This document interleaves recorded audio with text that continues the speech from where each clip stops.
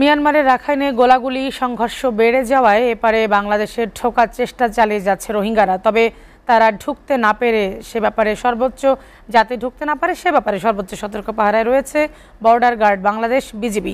এরপরও নাফ নদীর ওপারে বেশ কয়েকটি নৌকায় দুই শতাধিক রোহিঙ্গা অপেক্ষায় রয়েছে বলে জানিয়েছেন স্থানীয় জনপ্রতিনিধিরা।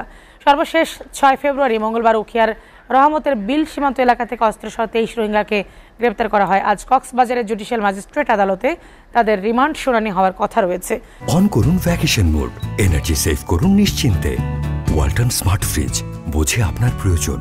এদিকে গতকাল বিকেলে উখিয়ার বালুখালী তেলিপাড়া এলাকায় এক ব্রিজের নিচ থেকে মাথায় হেলমেট গ্লাভস গুলিসহ অজ্ঞাত পরিচয়ে এক ব্যক্তি মরদেহ উদ্ধার করে পুলিশ। মিয়ানমার সংঘর্ষে সে দেশের সেনা সীমান্তরক্ষী বাহিনী সদস্য শুল্ক কর্মকর্তা সহ এ পর্যন্ত তিনশো ত্রিশ জন বাংলাদেশে ঢুকে পড়েছেন। তারা বর্তমানে বিজিবির হেফাজতে রয়েছেন।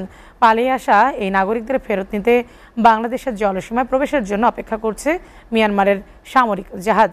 জাহাজটি এখনও বাংলাদেশে প্রবেশের অনুমতি পায়নি, ফলে নাগরিকদের ফেরত নিতে আসতে পারছে না।